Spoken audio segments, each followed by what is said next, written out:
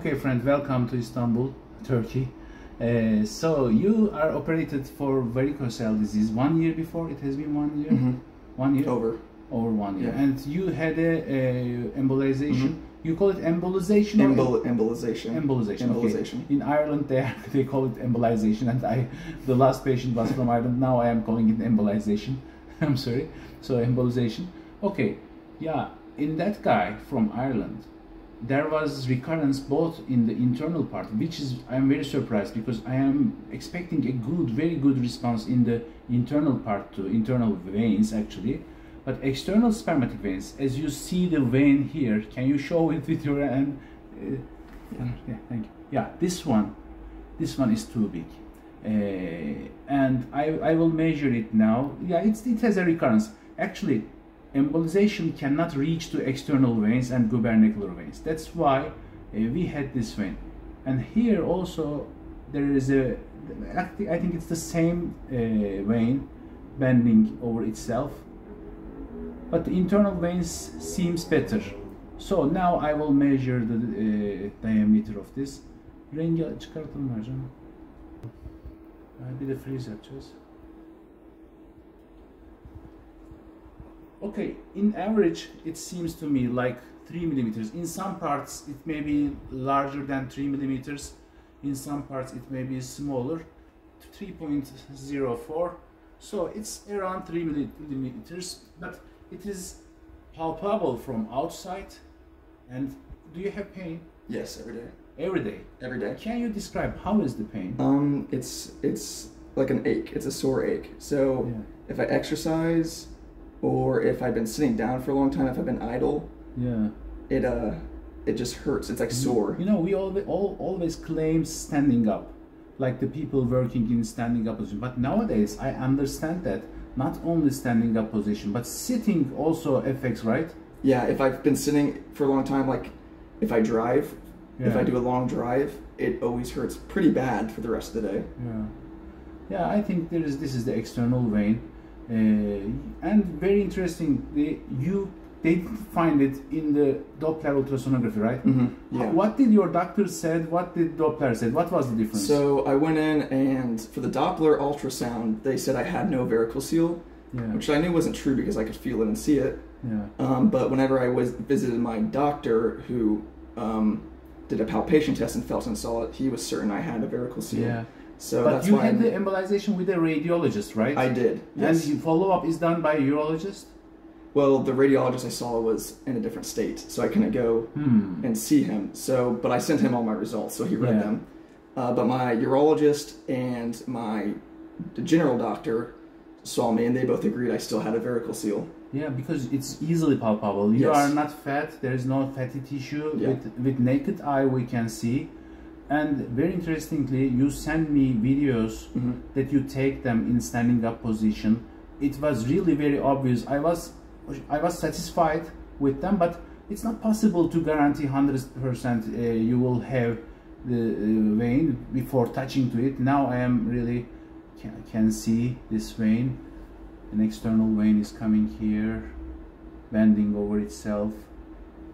Uh, and I think the internal veins are quite healed, but we will of course control all of them during the operation. And uh, these are usually internal veins. They are good. And gubernacular veins. For gubernacular veins, I look to the scrotal part. These are the gubernacular veins. They also seem normal, but we will control all of them. I think your recurrence is in the external vein. Actually, this is not a recurrence. This is a persistent of the external spermatic vein. So, how do you decide that Even they said there is no need. So, you, what did your urologist doctor say when he said when he see it is normal? My urologist said he was like, I don't know what else you should do. I don't know what else for you to do. Yeah. Um, but I, I had read about you and I knew there was another option. Okay. So I found you because of the my doctors were kind of at a loss about what to do. Yeah. So actually, when we examine urologist, we are uh, we make a decision to take it out. A Mhm. normal urologist. But when then the patient go and make the Doppler and come back, when he come back, we forget about the examination Yes, usually. And when Doppler is normal, this is not uh, you know legal maybe in United States. Mhm. It's maybe not legal to operate, but in Turkey, if doctor is palpating, they usually operate, and uh, yeah, you need. So you we are now doing it in standing up upright position, and there is a significant recurrence persistence here, and in the upper parts. Yeah. This is an external vein, easily seen. But this is the spermatic cord, internal veins, they are normal. This is good. But uh, outside it, I can see the external vein, I can palpate. Here, this is a big vein here. Okay, I am satisfied. Tomorrow, uh, not tomorrow, Tuesday. Tuesday, yeah, we will do the procedure. Okay. Okay, now you are in laying position, laying down, and we can see the external vein again. And uh, so, as you were in standing up position, it is a little bit large now. But when I measure this, I'm sure it is thinner now. 2.2 Mm-hmm. maybe you have some uh, measurements like this so they will not call it a varicocele so it the size decreases when you are laying down and uh, when we look with color doppler strain a little bit strain strain strain this much reflux is nothing so they will call this a normal ultrasonography but in radiology books it is written you have to do it both laying down and standing up position so if a patient has some pain, testis pain, there are, there is there, are, there must be a reason. Mm-hmm. So they have to do in both ways. That's why I begin to do my own Doppler because previously when I was palpating the vessel, sending the patient to radiology, sometimes they say there is nothing, and patient says, "Hey doctor, why are you uh, cheating on me?" So it, I begin to do it myself, and I understand that we are examining the patient in upright position, they are doing it laying down. It's nonsense. Okay, it's getting smaller and smaller. If I squeeze a little bit, it is really, when I squeeze with ultrasound, it, it is now very small. Maybe one point, yeah, it really go away. Yeah, it's squeezing. Yes, that's why they couldn't see it. Yeah, that's exactly why. Didn't you say, "Hey, please do it, do it to me I did. upright"? I, I asked them a few times. I said, I know you're supposed to do it upright standing because it gets bigger. Yeah. And they said, we don't do that. I don't know why. Okay, you don't. But it's one minute. One minute. Can you please stand up and see how long will it take to for it to? Look, it's not as big now as, as uh, a couple of minutes before. Strain a little bit. Yeah, it's getting bigger and bigger. Let me look closer. Yeah. So when you are in this position longer, it will be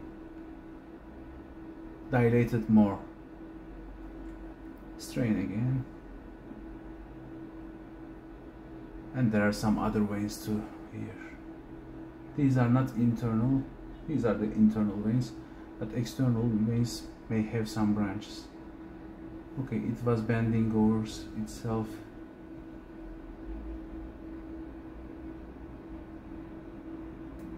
This part also is large. So when you are standing up for all day long, at Mhm. the end of the day, I'm sure it's very much bigger. Yeah, when I wake up, it's oftentimes it's as if I have no varicocele. I can almost Yeah. not feel it. Yes. And always by the end of the day, it's big and it's large, and I can feel it before I go to bed. Yeah, I learned everything I learned by listening to patients. I believe what patients says because they are investigating themselves all day long. Uh, previously, we had big books we were reading that now everybody is learning from Google. Yeah. Yeah, so the patient is investigating his symptoms every day, Yep. 24 hours. So you have to listen to patient and then you have to believe what they are Yeah. saying. That, that was really confusing for me. You said that you had it, you show it with, to me in the videos, in the uh, our video conversations. I was seeing it, Yep. but before touching, it's not e- e- easy to say, possible to say. Okay, thank you for coming. Thank you.